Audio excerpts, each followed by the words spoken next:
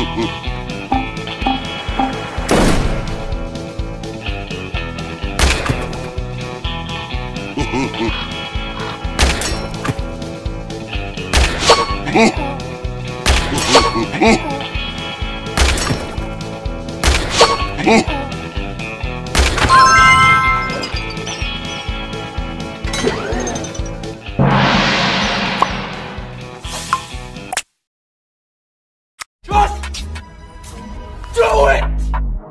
I know they will. Shut the fuck up.